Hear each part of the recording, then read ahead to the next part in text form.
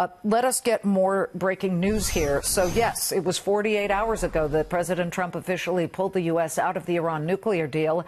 The administration has just turned up the pressure gauge on Iran and has a Middle Eastern partner helping to work that valve.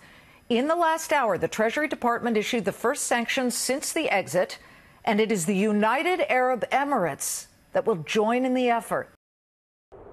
It's clear that just two days after Donald Trump pulled the United States out of the Iran nuclear deal, tensions in the Middle East have ratcheted up.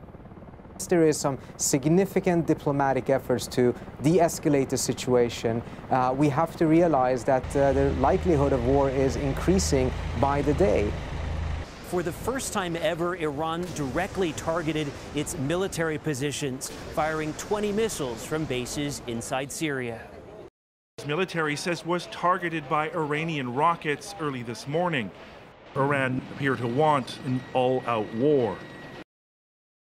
Overnight, Iranian forces on the ground in the UAE an act of war. And that is an act of war. Committing an act of war. It is an act of war. An act of war.